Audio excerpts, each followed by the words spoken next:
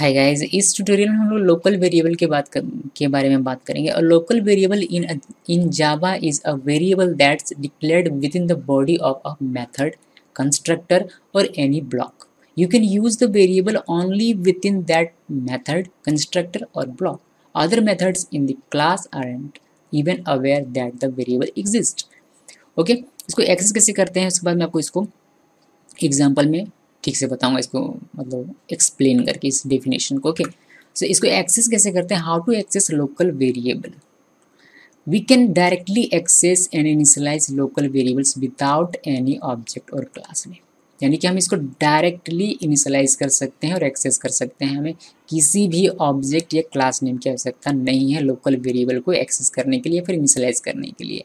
जैसे कि आप इसको लिखते हैं लोकल वेरिएबल आपने इसको डिक्लेयर कर दिया, कोई प्रॉब्लम नहीं है। इनिशलाइज करते हैं लोकल वेरिएबल इक्वल टू अपने वैल्यू दे दिया।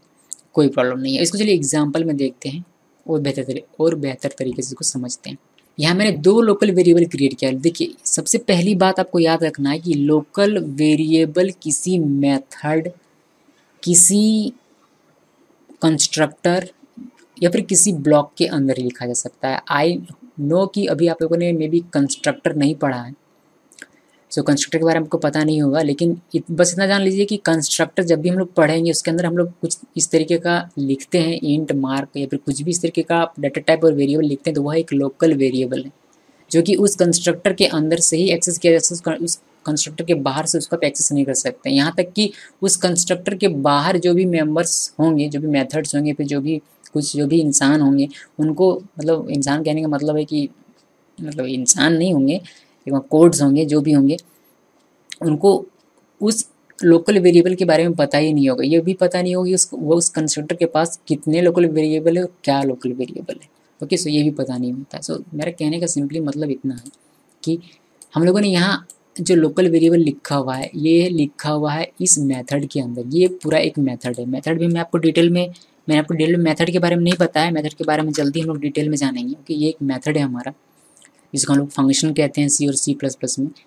सो so, ये एक मेथड है और इसके अंदर आपने ये इस तरीके से लिखा हुआ है तो ये एक लोकल वेरिएबल हो गया जिसको आप इस मेथड के अंदर ही यूज़ कर सकते हैं इस मेथड के बाहर आप यूज़ नहीं कर सकते हैं।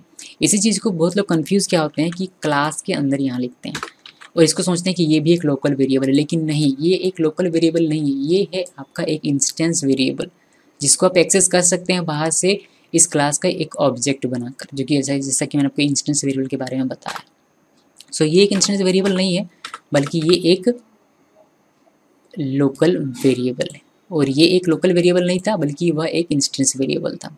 ओके ओके सो ये लोकल वेरिएबल है, समझ में आ गया? अगर आपका कंस्ट्रक्टर है तो भी लोकल वेरिएबल होगा। अगर आप कुछ इस तरीके से लिखते हैं, जैसे कि आप लिखते हैं ईव स्टेटमेंट आप लोगों ने पढ़ा होगा if I don't know maybe i is greater than five तो आप यहाँ लिखते हैं, जिस तरीके से लिखते हैं इंट बी इक्वल टेन इस तरीके से आप लिखते हैं तो ये भी एक लोकल वेरिएबल ही है। ये ब्लॉक है और ब्लॉक के अंदर आपने लिखा हुआ है तो ये एक लोकल वेरिएबल हो जाता है। ठीक है? ये क्लियर है? इसको हम लोग यहाँ से हटा देते हैं बिकॉज़ इस प्रोग्राम को रन करने के लिए हम इसका आवश्यकता नहीं है। अब यहाँ देखते हैं मेन मेथड में ये क्या है? ये भी एक मेथड है। ठीक है, इसको हम लोग मेन मेथड कहते हैं। तो इस मेन मेथड के अंदर अंदर अगर आपने ऐसा कुछ लिखा हुआ है तो ये भी एक लोकल वेरिएबल कहलाएगा। ठीक है? और इस लोकल वेरिएबल का यूज़ आप सिर्फ़ इस मेन मेथड के अंदर ही कर सकते हैं, यानी कि इस मेथड के अंदर ही इसको एक्सेस किया जा सकता है।